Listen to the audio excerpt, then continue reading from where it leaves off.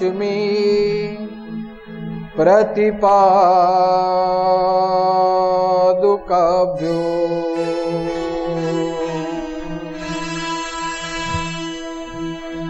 बोलिए नवनाथ महाराज की। बोलिए शिव गोरक्षनाथ महाराज की। सदगुरु सानेनाथ महाराज की। अधूतचिन्तन् श्रीगुरुदेवदत्त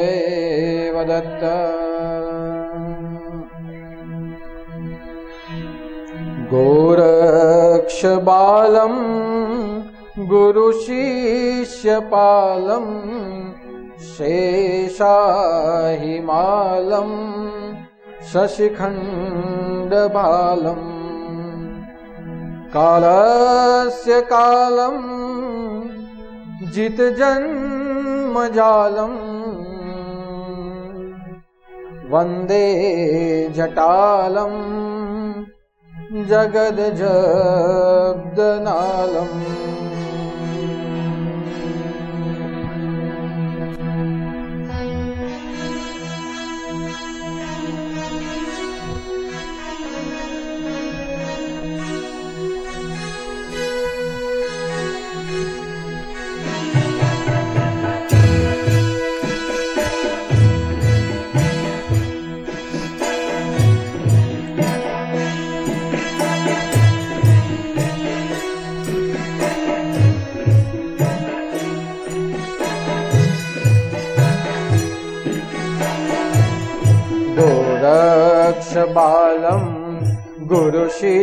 गुरुशिष्यपालं शेषाहिमालं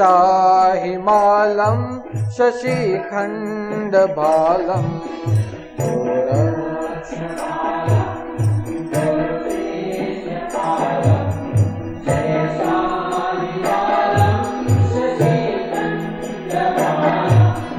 આજે આપણે પૂનમ નિમિત્તે ચાંદનીમાં બેઠા છે સદગુરુના સાનિધ્યમાં બેઠા છે. અને જે દૂધનો પ્રસાદ આપણે અહીંયાથી લેવાના છે, એ દૂધના પ્રસાદને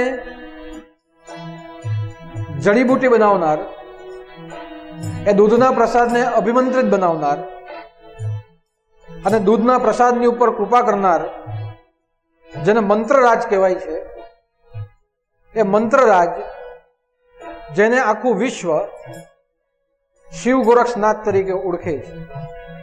અહીંયાથી જે પણ જડીબુટી નાખવામાં આવશે, એ જડીબુટીની ઉપર મંત્રનો પ્રયોગ થશે. અને મંત્ર બીજો કોઈ સામાન્ય મંત્ર નથી. એ કોઈ વેદ મંત્ર નથી, કોઈ પુરાણનો મંત્ર નથી. પણ એ મંત્ર એ સાબરી મંત્ર છે. અને સાબરી મંત્ર જેનામાંથી પ્રગટ થયા જેણે આ દુનિયાને આધિ વ્યાધિ ઉપાધિ અને જાદુ ટોનામાંથી મુક્ત કરવા માટે આ મંત્રની ભેટ ધરી એ મંત્રના દાતા એ ગોરક્ષનાથ છે. એટલે આપણે બધા જ ગોરક્ષનાથના મંત્રનું આવાહન કરીને ગોરક્ષનાથની હાજરી આપણા પરિસરમાં રહે એનો અનુભવ થાય. અને આ જે પ્રસાદ છે, તે મહાપ્રસાદ બને એવા ભાવથી ગુરુદેવનું અને ગોરક્ષનાથનું આપણે આવાહન કરીએ તો અહીંયાથી જ્યારે મંત્ર ગવાય, તો દરેક જણાએ આ મંત્ર ગાવાનું છે. ગોરક્ષ બાલમ ગુરુ શિષ્ય પાલમ શેષા હિમાલમ શશિખંડ ફાલમ કાલશ્ચ કાલમ જીત જન્મ જાલમ વંદે જટાલમ જગત જબ્દનાલમ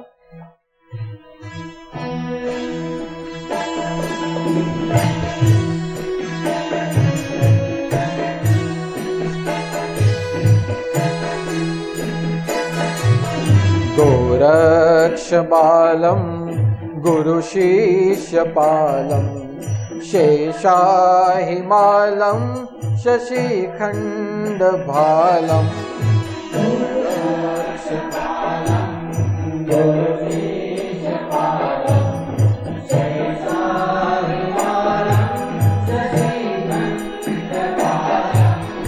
कालस्य कालं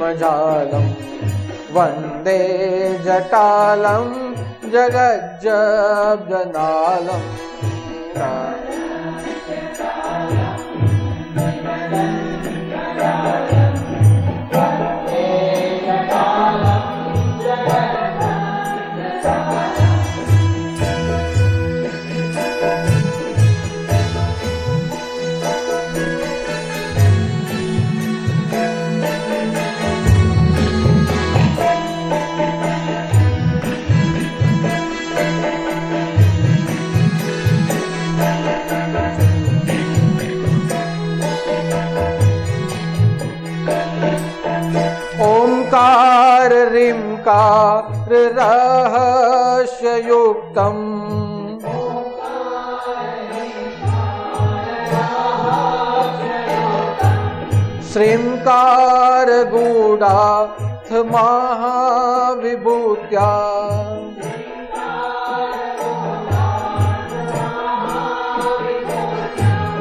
ओङ्कार मर्म प्रतिपादिनीभ्याम्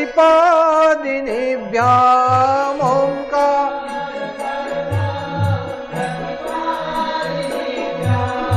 ओङ्कार मर्म प्रतिपादिनीभ्याम् ओङ्कार मर्म नमो नमो श्री गोरक्षनाथ नमो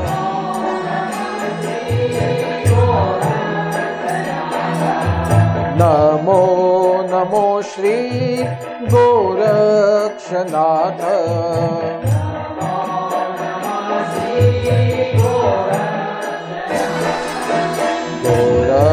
गोरक्षबालं गुरुशिष्यपालं शेषाहिमालं शशिखण्डबालं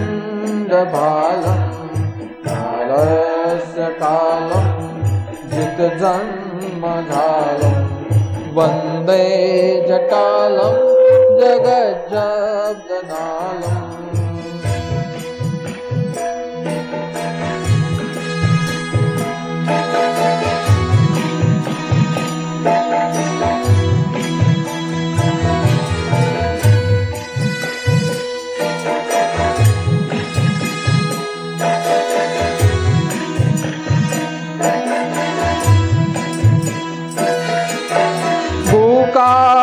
ગુણ સૈ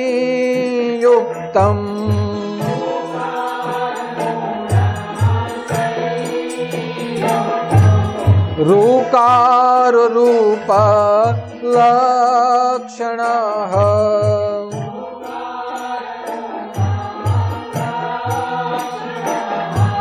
सकारे क्षणाय स्वयं ब्रह्म नित्यम्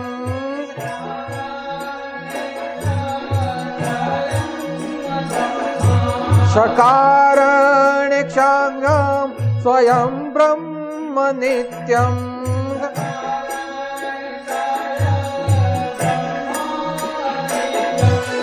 नमो नमो श्री गोरक्षनाथ।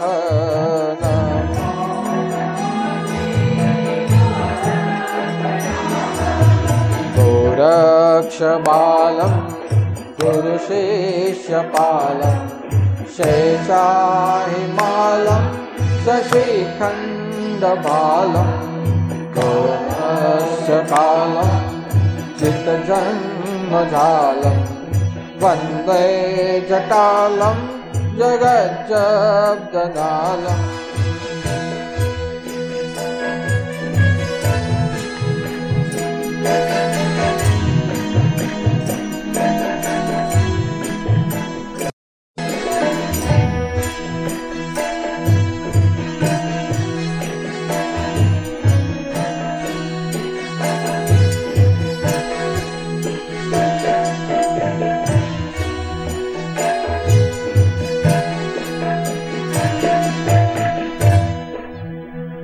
श्रृंगी शैली और जटा जोली भगवावे कानन कुंडल भस्मल से बोलो शिव गोरक्ष आदेश शिव गोरक्ष आदेश शिव गोरक्ष आदेश અલખ નિરંજન.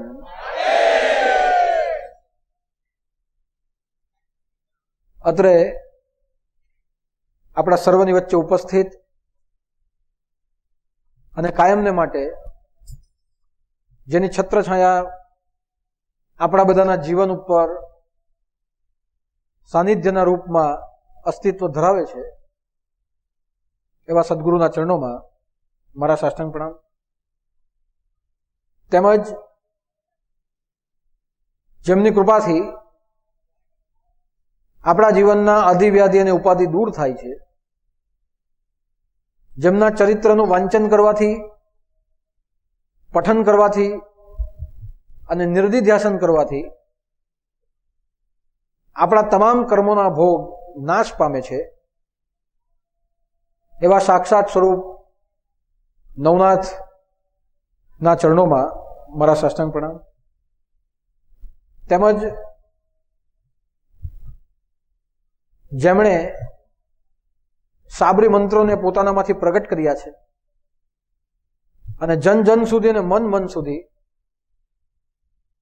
આ મંત્રોને જીવન ઉદ્ધાર માટે પહોંચાડ્યા છે એવા મંત્રરાજ ગુરુદેવ શિવ ગોરક્ષનાથના ચરણોમાં મારા સાષ્ટાંગ પ્રણામ. તેમજ જેના કિરણોની છાયામાં આપણે બેઠા છે, જેમના કિરણો એ આપણી ઉપર આજે અમૃત વર્ષા કરે છે અને જેને મનનો સ્વામી કહેવામાં આવે છે, એવા ભગવાન અમૃત સ્વરૂપી ચંદ્ર દેવતાના ચરણોમાં મારા સાષ્ટાંગ પ્રણામ. સાથે સાથે આજનો પર્વ એ રાત્રિનો પર્વ છે. અને રાત્રિના પર્વમાં શક્તિને ઉજાગર કરવા માટે જેની આજના દિવસે ઉપાસના થાય છે, એવી મા ભગવતી લક્ષ્મીજીના ચરણોમાં મારા સાષ્ટાંગ પ્રણામ. તેમજ અહીં ઉપસ્થિત તમામ નાથ ભક્તોને મારા જય ઉદત આજનો અવસર એ સૌથી પહેલો આનંદનો અવસર છે. આનંદનો અવસર એટલા માટે છે કે આજના દિવસે દરેક જગ્યા ઉપર જે ભગવાન કૃષ્ણને માને છે, એવા કૃષ્ણ પ્રેમી ભક્તોના જીવનમાં રાસલીલાનું સર્જન થાય છે. અને બધા જ આજે રાધા કૃષ્ણને આરાધ્ય ગણીને રાસનો મહિમા ગરબા દ્વારા કે રાસ દ્વારા વધારે છે. કારણ કે રાસ હોય કે ગરબા, આ ભલે આપણને શારીરિક કસરત લાગતી હોય, પણ શારીરિક કસરતની સાથે સાથે રાસ અને ગરબા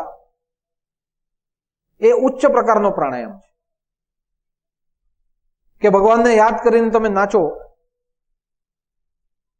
એ નાચવું એ નૃત્ય કહેવાય.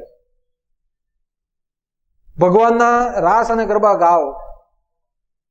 એ તમારું ગાન કહેવાય. અને નાચતા નાચતા જ્યારે તમે ભગવાનમાં લીન થઈ જાઓ, એને કીર્તન કહેવામાં આવે. એટલે કીર્તન દ્વારા, ગાન દ્વારા અને નૃત્ય દ્વારા જ્યારે આપણે આરાધના કરીએ છીએ, તો એ આરાધનાની અંદર પ્રાણને નવો આયામ પ્રાપ્ત થાય છે. પ્રાણાયામનો એક અર્થ છે, પ્રાણ અને આયામ. આયામનો અર્થ થાય ઉપર સુધી લઈ જવું. આયામનો અર્થ થાય એક ઊંચાઈ સુધીને પહોંચાડવું.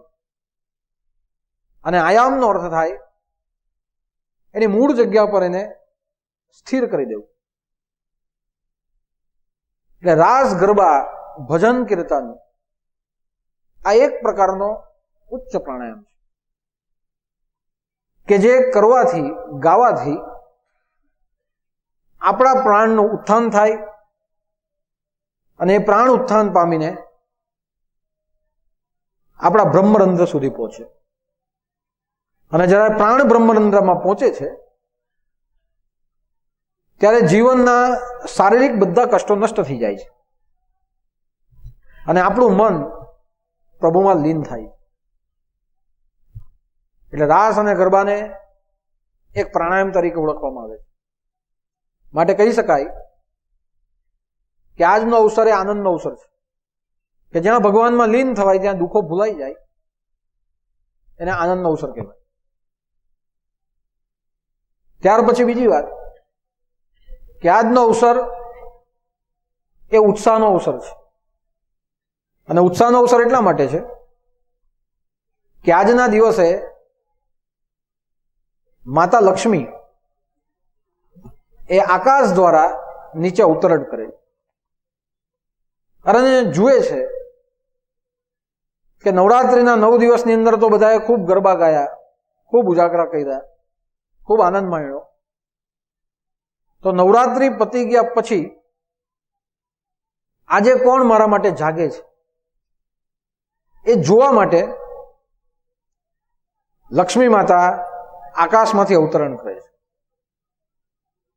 અને એટલા માટે આજનો અવસર એ ઉલ્લાસનો અવસર છે કે જ્યારે બ્રહ્માંડ પરમાં ભગવતીના પગલા પડતા હોય તો એને ઉલ્લાસનો અવસર કહેવાય. આપણે કહીએ છીએ ને કે માળી દારૂ કંકુ ખર્યું. અને સૂરજ ઉગ્યો. એ પેલા સૂરજની વાત નથી. પણ માતાજીનું આગમન થાય ત્યારે બધાનો સૂર્ય જ્ઞાન રૂપી સૂર્ય, એ ઉદય થાય છે. એટલે ઉલ્લાસનો અવસર કે આજે લક્ષ્મીજી નીચે ઉતરે છે.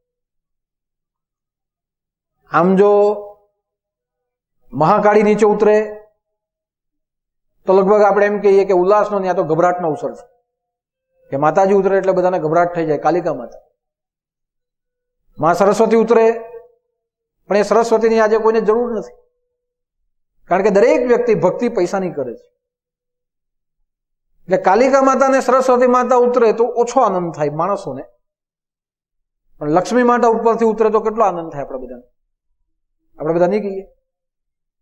કે ભક્તિ કેમ કરીએ તો પૈસા માટે? કે ભગવાન બહુ પૈસો આપજે. ભણીએ કેમ તો પૈસા માટે? મહેનત કેમ કરીએ તો પૈસા માટે? દાન ધર્મ કેમ કરીએ? તો જેટલું આપે એટલું વધે. એટલા માટે. એટલે આજે જો લક્ષ્મી માતા નીચે ઉતરતા હોય, તો સૌથી મોટો ઉલ્લાસ કે આજે બધાને ધન પ્રાપ્ત થશે.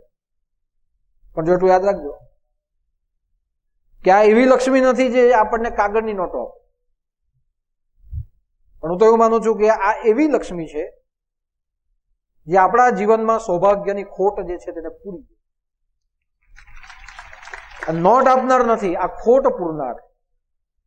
જે લક્ષ્મી તેને સૌભાગ્યની લક્ષ્મી કહેવાય. પણ ઘણા ઓછાને ખબર હોય કે આજનો અવસર એ લક્ષ્મી ઉપાસનાનો પર્વ છે. તમે જુઓ, દિવાળીની અંદર જ્યાં લક્ષ્મીની ઉપાસના થાય, તો બધા પોતાના ધનની પૂજા કરે કે જૂના જૂના સિક્કાઓ કાઢી લાવે કોઈ સોનાના સિક્કા લાવે, કોઈ ચેન લાવે, બધું મૂકે. અને કેમ મૂકે? કે માતાજીની કૃપા રહે તો આ બધું વધતું જાય. એટલે આજના દિવસે પણ લક્ષ્મીની કૃપા એ તમારો ધન ભંડાર ભરે, તમારો ધાન્ય ભંડાર ભરે, અને સૌભાગ્યમાં જે ખોટ હોય તે આજે આપણે પૂરે છે. અને સાથે સાથે આજનો ઉત્સવ એ ઉમંગનો ઉત્સવ છે. કેમ? તો આજના દિવસે આપણને પ્રસાદ પ્રાપ્ત થાય છે.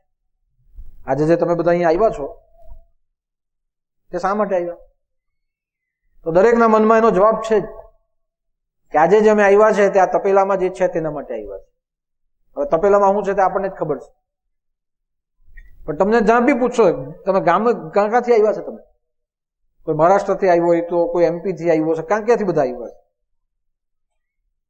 અને જો આજે તમને પૂછે કે ભાઈ આજે પૂર્ણિમામાં કેમ ચાલ્યા? આજના દિવસે તમે આશ્રમમાં કેમ ચાલ્યા? ગુરુવાર તો વાર છે એટલું અમને ખબર છે કે ગુરુવારે તમે જમવા માટે જાઓ. આપણે અહીંયા જે આવે ને, તેને બધા આમ જ કે. કેવું એમ કે આશ્રમમાં જ્યાં કરે ખાવા હારું જ જાય. એટલે ગુરુવારે તમે આવો તો લોકો કે આજે ખાવા માટે જાઓ. આજે આવ્યા છે તો તમે જવાબ આપ્યો કે આજે મેં પીવા માટે આવ્યા છે એ વાત બી સાચી છે ને, પીવા માટે જ આવ્યા ને આપણે? હવે એ લોકોનું પીવાનું જુદું છે ને આપણું પીવાનું જુદું છે. એ પી તો ઉતરી જાય છે. આ પી તો વર્ષો વર્ષ ચડેલી રહે છે, પાછું આવતર ખાવાની ઈચ્છા થાય અને તમને કોસ્ટની દ્રષ્ટિએ વાત કરું તો આ મોંઘું છે. પેલું જે આવે તે કેટલાનું આવે? મને નથી ખબર. એ હવે તમને ખબર છે કેટલાનું આવે. પણ એ બાટલી મૂકો ને આ બાટલી મૂકો એસ્ટિમેટ કાઢજો કે આમાં દૂધ છે, દૂધને કેટલું ઉકાળ્યું છે, એમાં કેટલી ખાંડ નાખી છે, કેટલો સૂકો મેવો નાખ્યો છે, એની અંદર જડીબુટી નાખી છે, એમાં મંત્ર ઉચ્ચારણ છે, આખા દિવસનો આપણો દોડધામનો થાક છે, આ બધો જો એસ્ટિમેટ કરે તો પેલા કરતા એક મીંડું વધી જાય એટલે મોંઘું છે આ. પણ પેલું પીઓ તો એને દરરોજ આપવું પડે. ઉતરી જાય, પાછું ચડાવવું પડે. અને હું આગળ પણ કીધેલું આજે પણ પીવું છું. કે ઘણા માણસોની આદત છે કે ચડવા માટે પીતા હોય. અને જે ચડાવી ચડાવીને જે પીતા હોય ને, તેની એક આદત છે એને ઉતારવા માટે પણ પીવું પડે પણ આ પ્રસાદ એવો છે કે વર્ષમાં એક વખત પીધા પછી બીજા વર્ષે શરદ પૂર્ણિમા ક્યારે આવે કહેવાની જરૂર નથી. તમે જાતે કેલેન્ડરમાં જોઈને અહીંયા દોડતા હોય એટલા માટે કહી શકાય કે આજનો અવસર એ ઉમંગનો અવસર છે. આનંદ, ઉલ્લાસ અને ઉમંગ. આ ત્રણેય અવસર આજે અહીંયા ભેગા થાય છે. અને એટલા માટે શરદ પૂર્ણિમાનું મહત્વ એ બીજી બધી પૂર્ણિમા કરતા પણ વધારે છે. ઉપનિષદમાં કીધું છે, છંદોગ્ધ ઉપનિષદમાં, કે સોળસહ કલાવંત પુરુષ, કે ચંદ્રની જેમ સોળ કળા છે, એવી સોળે કળા એ દરેક પુરુષની અંદર સમાયેલી છે. આ બધી કળાઓ આધ્યાત્મિક કળાઓ છે. પણ એવી સોળે સોળ કળા એ દરેક પુરુષમાં સમાયેલી છે. પણ દરેક પુરુષ એ સોળે કળાને ખીલવી શકતો નથી. દરેક પુરુષની સોળે કળા ત્યારે જ ખીલે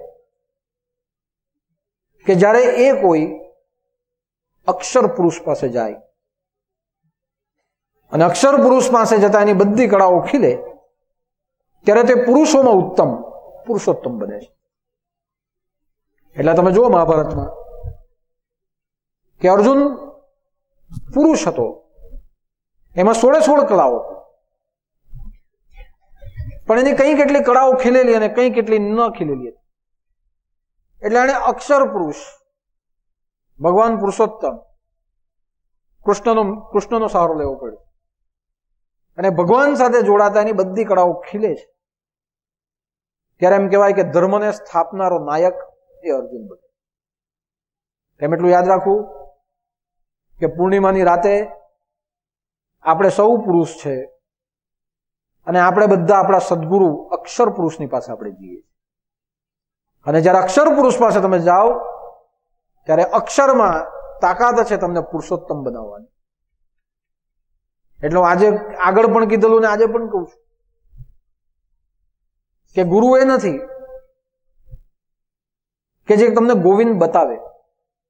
આપણે કે ને, ગુરુ ગોવિંદ દોનો ખડે, કિને લાગુ પાય?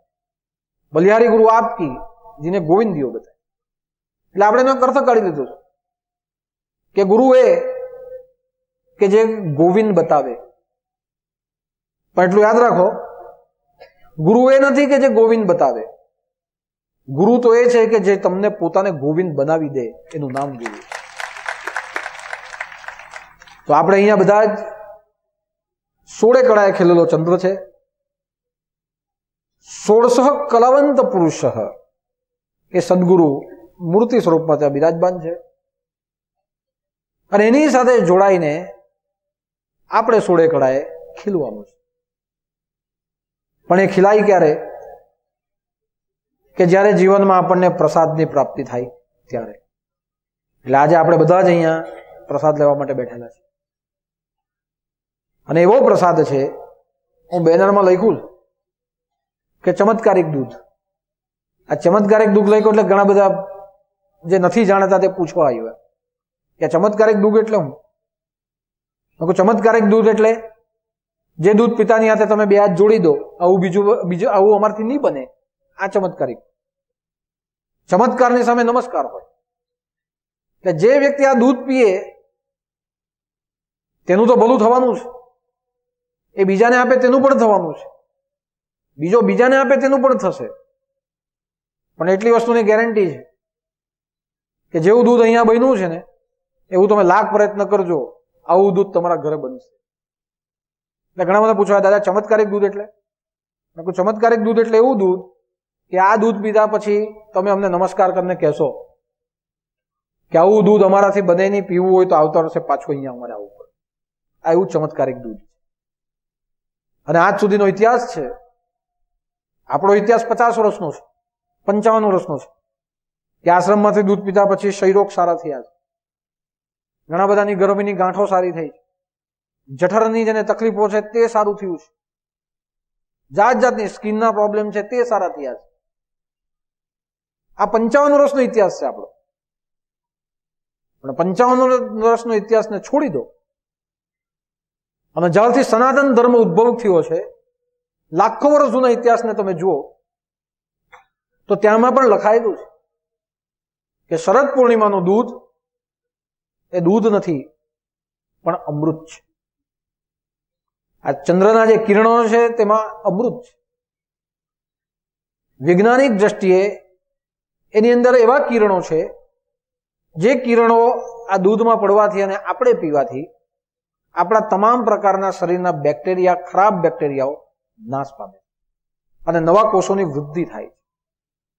એવું વિજ્ઞાને પણ શોધ્યું છે. પણ વિજ્ઞાન શોધે એના પહેલા આપણા શાસ્ત્રો, આપણા ઉપનિષદોએ આ વસ્તુને બતાવી દીધી. એટલે આયુર્વેદની ઘણી બધી દવાઓ એ ચંદ્રના પ્રકાશમાં બનાવવામાં આવી. આયુર્વેદની ઘણી બધી દવાઓ એ ચંદ્રના પ્રકાશની અંદર મૂકીને એને જડીબુટી બનાવવામાં આવે.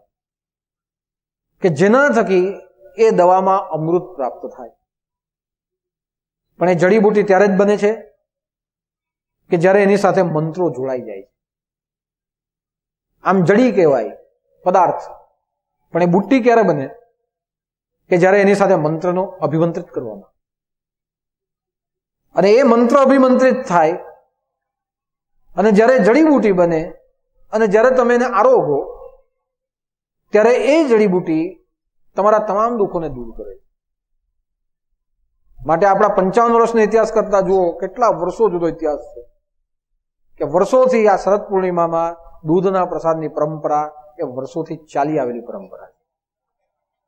અને એ જ પરંપરાને અનુલક્ષીને આપણે છેલ્લા પંચાવન વર્ષથી આ ગુરુ દરબારમાં દૂધનો પ્રસાદ આપણે વેચીએ એટલે આજે એ પરંપરાને આપણે આગળ ધપાવવાની છે.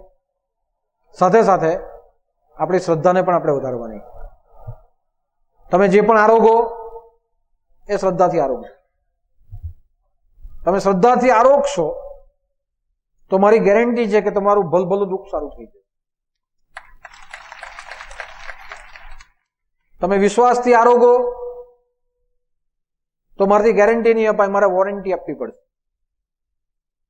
કે વિશ્વાસથી આરોગ્ય એક કામ કર, આવતા વર્ષે પાછો આવશે આમ પણ જે વસ્તુની વોરંટી હોય ને તે બદલી અપાય. આજે ગેરંટીનો જમાનો નથી. કોઈ ગેરંટી આપતો નથી. અને કોઈ વસ્તુની ગેરંટી નથી એટલે બધી વસ્તુ બદલી શકાય. એટલું યાદ રાખજો તમે તમે ઘરમાં ફ્રીજ લાવો, એની ગેરંટી નથી. એને બદલવું પડે. ટીવી લાવો, એને બદલવું પડે. નવા નવા તમે મિત્રો બનાવો, એને બદલવા પડે. ધંધો કરો, કોઈ ગેરંટી નથી, બદલવી પડે. લગ્ન કરો, એની કોઈ ગેરંટી છે કે સક્સેસ થાય? તૂટી જાય તો શું કરવું પડે? એને પાછું બદલવું પડે. આ દુનિયામાં કોઈ વસ્તુની ગેરંટી નથી. હા, પણ એટલું યાદ રાખો, આ દુનિયાની અંદર શાસ્ત્રોના પ્રમાણ અને સદગુરુના આશીર્વાદની સો ટકાની ગેરંટી છે. એટલે શ્રદ્ધાથી આરોગ્યો બલબલું સારું થઈ જાય. વિશ્વાસથી આરોગ્યો કદાચ આવતા વર્ષે આવવું પડશે. પણ જો તમે મનથી આરોગો તો પછી મને કહેતા નહીં. આ તમારા માટે ખીર એટલે બાસુદીથી બીજું કંઈ નથી. એટલે એને પકવાન નહીં, એને પ્રસાદના રૂપમાં આપણે ફેરવવા. અને એવો જ પ્રસાદ આજે અહીંયાથી બધાને મળશે. ધીરજના ફળ મીઠા. તમે ઘણા વાગા સુધીની ધીરજ રાખી છે. તો ધીરજના ફળ મીઠા બધાને જ એનો પ્રસાદ મળશે અને એ પ્રસાદ પ્રાપ્ત કરીને દર વર્ષની જેમ આ વર્ષે પણ તમે કૃતાર્થ થશો. અને આજે આપણે ગોરક્ષનાથનું આવાહન કર્યું છે. એટલા માટે જ કર્યું છે કે અહીંયા સાબરી મંત્ર બોલવામાં આવે. મંત્ર માઇક પર બોલવાનો નથી. એ મંત્ર ગુપ્ત મંત્ર છે. અને સાબરી મંત્ર જ્યારે અહીંયાથી બોલે, એટલે સ્વાભાવિક રીતે ગોરક્ષનાથ જેવી વિભૂતિ આ વાતાવરણની અંદર એ હાજર થાય છે. કોઈને અનુભવ થાય, કોઈને નથી થતો. પણ જો એની હાજરી છે, તો જ આ દૂધ તમે ગમે એટલા દિવસ રાખો એમનું એમ રહે આપણા આશ્રમની અંદર આ દૂધ એક વર્ષ સુધી રાખવામાં આવે. એને તમે ડીપ ફ્રીઝરમાં મૂકી દો. એક વર્ષ સુધી આ દૂધ એમનું એમ રહે. જે બાકી રહી ગયેલા હોય ને તેને એક વર્ષ પછી પણ હું પ્રસાદ આપું છું આ દૂધ હવે તમે ગમે ત્યાં વસ્તુ મૂકો, એ બગડે તો છે જ. પણ કેમ નથી બગડતી? એનું કારણ છે કે જે પ્રસાદ ભગવાનની હાજરીમાં તૈયાર થાય, એ પ્રસાદ શાશ્વત હોય, એ કોઈ દિવસ નાશવંત રહેતો નથી. અને એટલા માટે આજે આપણે સ્વાભાવિક રીતે ગોરક્ષનાથને યાદ કરવા પડે, કારણ કે આ બધા જ મંત્રો એ ગોરક્ષનાથ આપ્યા આ મંત્રોના કોઈ અર્થ નથી. એના અર્થ કાઢવા જાઓ તો તમને ખબર પણ નહીં પડે. એમાંનો એક મંત્ર છે, નાનો સરખો. એનો અર્થ તમે મને કહો, પછી હું તમને કહું કે આનું શું થાય. વનમે બેઠી વાનરી, અંજની જાય હનુમંત. આનો અર્થ કરો? આવા બધા શબ્દો છે કે એવા બધા જે શબ્દો છે જેના કોઈ અર્થ નથી, સંસ્કૃતના અર્થ પકડાય. પણ આ અર્થ એ નિરર્થક છે. અને એવા એવા એમાં શબ્દો છે કે જે શબ્દની અંદર શક્તિ છુપાઈ ગઈ અને એ શબ્દ સ્વયંભૂ સિદ્ધ જ છે. એને સિદ્ધ કરવા માટે કોઈ મહેનતની જરૂર નથી પડતી. આ સાબરી મંત્ર એમાં મૂળ ચોટનું નિવારણ છે. આ જેટલી પણ તમે મેલી વિદ્યા કહો, આ મેલી વિદ્યા જે છે તે સાબરી મંત્ર છે. પણ ખોટા માણસોના હાથમાં આવી અને લોકોને મૂઠ મારતા થઈ અને જ્યાં સુધી સારા માણસોના હાથમાં હતી, ત્યાં સુધી બધાની મૂઠ ઉતરી જતી એટલે ખોટા માણસના હાથમાં કઈ વસ્તુ આવે તો બગાડ થાય. એટલે એને પછી મેલી વિદ્યા થઈ ગઈ. ખોટો ઉપયોગ. પણ જ્યાં સુધી આ મંત્ર સિદ્ધ પુરુષો પાસે હતા, ત્યાં સુધી આ મંત્રથી હજારો માણસના કલ્યાણ થયા છે. અને એનું પ્રમાણ તમે નવનાથ ચરિત્રની અંદર જુઓ કે મરેલો માણસ પણ બેઠો થતો હતો. આંખ કાઢી ના આપી તો પાછી આંખ જોડી દીધી જેમની તેમ. એવા કેટલાઓ પ્રમાણ છે. હાથ પગ કપાઈ ગયા તો ફરી પાછા જોડાયા. આપણને આ બધું ચમત્કાર લાગે. પણ એક વસ્તુ હંમેશા ધ્યાન રાખવું. કે માણસ કરે એ ચમત્કાર નથી. હાથ ચાલાકી છે જાદુ છે. પણ જ્યારે કોઈ સિદ્ધ પુરુષ કરે, ત્યારે સમજવું કે એ ચમત્કાર છે. એટલે આખી દુનિયા ચમત્કારોથી ભરેલી છે. આપણા ગુરુદેવનો એક અનુભવ છે કે ઘણા વર્ષો પહેલા જ્યારે એમના નોકરીનો કાળ ચાલુ હતો, ત્યારે ગુરુદેવને કોઈ કારણસર ગિરનાર જવાનું થયું. અને ગિરનાર પર ગયા અને ગિરનારમાં જંગલોમાં ફર્યા. તો કોઈક સિદ્ધ પુરુષો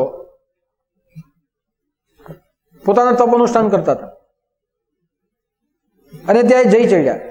બેઠા. હવે એ જ્યાં બેઠા, ત્યાં ઘણા બધા સાધુઓની વચ્ચે એક તપેલીમાં માટીનું તપેલું હતું કંઈ. અને એમાં ઉકળતું દૂધ લાવવામાં આવ્યું. અને ઉકળતું દૂધ લાવીને બધાની વચ્ચે મૂકી દીધું હવે ગુરુદેવ ગયેલા તેની સાથે બીજા અમુક અમુક અમુક અલગ અલગ જગ્યાએથી ઘણા લોકો હતા. એટલે બેઠા. અને ત્યાં સાધુઓએ કીધું કે આ પ્રસાદ છે, એ શરદ પૂર્ણિમાનું દૂધ છે. ઉકળતું દૂધ હતું. એટલે જેને જેને આપવામાં આવે તે પી જાઓ. હવે બધાને ચમચીએ ચમચીએ પ્રસાદ આપ્યો હાથમાં. અમુક જે શ્રદ્ધાવાળા હતા તે પી ગયા. થોડા વિશ્વાસવાળા હતા. તેણે વિચારીને પીધું, પણ પીધું ખરું. અને ઘણા શંકાશીલ માણસો હતા કે આવું કંઈ પીને આપણને કંઈ થશે તો? એટલે પીવાની સ્ટાઇલમાં આ દૂધને સરકાઈ દીધું. અને જેવું દૂધ સરકાઈ દીધું તો અનાદર થયો. અને ભાઈ બીજા દિવસે ખબર પડી કે અહીંયા કોટ થઈ ગયું. હવે તમે વિચારો કે આ ચમત્કારોથી ભરેલી દુનિયા. સિદ્ધ પુરુષ કંઈક કરે તો એ ચમત્કાર હોય. હા, પણ માણસો કરે આ જાદુગર, આ જ ચલાકી કહેવાય જાદુ ટોના કહેવાય. પણ સાધુ સંતો જે પણ કંઈ કરે છે, એ ચમત્કાર હું એટલું માનું છું. આ ચમત્કારિક દૂધનો એક જ ચમત્કાર જોઈ લો તમે. કે આજે તમે અહીંયા દૂધ પીવા માટે ભેગા થઈ ગયા. હવે મને કહો, પાર્ટીઓ કરીને ત્યારે પીવા માટે ભેગા થાય, દૂધ પીવા માટે કોઈ ભેગું નહીં થાય. પણ જો આ ચમત્કાર કે એક દૂધ પીવા માટે અહીંયા કેટલા હજારો માણસો ભેગા થઈ ગયા આ ચમત્કાર છે કે ખાલી દૂધ પીવા માટે ભેગા કે એવું તો શું છે કે જેને માટે આપણે બધું છોડી નહીં આવ્યા? આ એક ચમત્કાર. તમે ચમત્કાર બીજો જુઓ. કે આમાંનું એક પણ લીટર દૂધ હું પોતે લાવ્યો નથી. તમે બધા તમારા ઘરથી થોડું થોડું થોડું થોડું દૂધ લાવીને અહીંયા બે હજાર લીટરની ઉપર દૂધ આપણે ભેગું કર્યું ચાલો, આ ચમત્કાર છે કે નથી? એક ડેરીમાં એટલું દૂધ ભેગું નહીં થાય. તેટલું દૂધ વગર પ્રચારે તમે તમારા ઘરોથી થોડું થોડું થોડું લાવીને એમાં મૂકી દીધું. હવે આમાં તમે જે પણ એક લીટર લાવ્યા છો, એમાં કોઈની તાકાત કરી કે મારું લીટર હું કાઢી લેવામાંથી હું ભેંસનું નાખેલું તો અહીંયાથી ભેંસનું કાઢી બતાવું. કોઈ એમ કહે કે હું લીટર આપ્યું છે તમારી કાઢી બતાવે. એ અલગ થઈ શકે ખરું? તમે એક લીટર લાવ્યા છે, પણ અહીંયા બે હજાર લીટર થયું છે. જોત જોતામાં જોત જોતામાં વધતું ગયું. આ પણ એક ચમત્કાર છે. અને હું તમને છાટી ટોકી ન કહું કે અહીંયા જે દૂધનો પ્રસાદ બનાવવામાં આવે છે, આખા ભારતની અંદર આટલું દૂધ કશે ભેગું થતું નહીં આ એક જ જગ્યા છે. જ્યાં શ્રદ્ધાથી લોકો દૂધ લાવે છે, આપણે વેચાતું લાવતા નથી. આટલો મોટો ભંડારો છે, લોકો જમ્યા જ કરે છે. આનાથી મોટો બીજો ચમત્કાર કયો હોય? અને સૌથી મોટો ચમત્કાર છે કે આ દૂધ પીને અત્યાર સુધી આપણા દુઃખો દૂર થયા છે અને આપણે જ આપણી ગેરંટી આપીએ છીએ કે હજુ જે છે તે પણ દૂર આ જ ચમત્કાર છે. માટે આ એવા ચમત્કારો છે જે અનુભવી શકાય. તો આપણે સૌએ આજે અહીંયાથી મંત્રોચ્ચાર કરવાનો છે. અહીંયાથી હું મંત્ર બોલું. નીચેથી પણ મંત્ર બોલાશે. અને મારું મંત્રનું ઉચ્ચારણ થઈ જાય, ત્યાર પછી ત્યાં જઈને આ જડીબુટી એમાં નાખું છું. અને જડીબુટી નાખે અને સુગંધ પ્રસરે અને આપણું દૂધ અહીંયા તૈયાર. તો જ્યારે અહીંયાથી મંત્ર બોલાય, તો દરેક જણાએ શ્રદ્ધાથી મનમાં પોતે પોતાના ગુરુનું સ્મરણ કરો. તમે જેની પાસે અનુગ્રહ લીધો એનું સ્મરણ કરો. તમે જે ભગવાનને માનતા હોય એનું સ્મરણ કરો. તમે જીવનની અંદર જેને ઈષ્ટદેવ માનતા હોય એનું સ્મરણ કરો. એવું જરૂરી નથી કે આપણે અહીંયા નથી આવ્યા ને આપણે કોઈ બીજેથી આવ્યા છે એટલે કે આપણે કોઈ બીજાને માનીએ છીએ એટલે તમે જેને માનતા હોય તેને. પણ જ્યારે અહીંયાથી મંત્ર બોલાય, ત્યારે દરેક જણાએ પોતાના ગુરુદેવનું સ્મરણ કરવું. અને સ્મરણ કરતા જાઓ. અને સ્મરણ થાય એટલે ભગવાનની હાજરી સુગંધાના રૂપમાં અહીંયા મોજૂદ તો એવી એક શ્રદ્ધા રાખવાની છે અને આપણે અહીંયાથી હવે મંત્રોચ્ચાર કરીએ. તો ધીમે ધીમે મંત્રોચ્ચાર થાય, તમે તમારા મંત્ર બોલજો. હું મારા મંત્રનું ઉચ્ચારણ કરું. અને થાય એટલે પછી આપણે ત્યાં દૂધ નાખીએ.